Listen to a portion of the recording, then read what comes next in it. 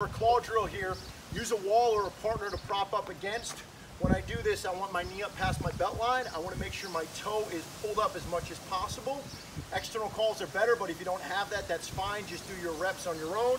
Now, I want to make sure I have the proper placement of my foot. It's going to come right underneath my body.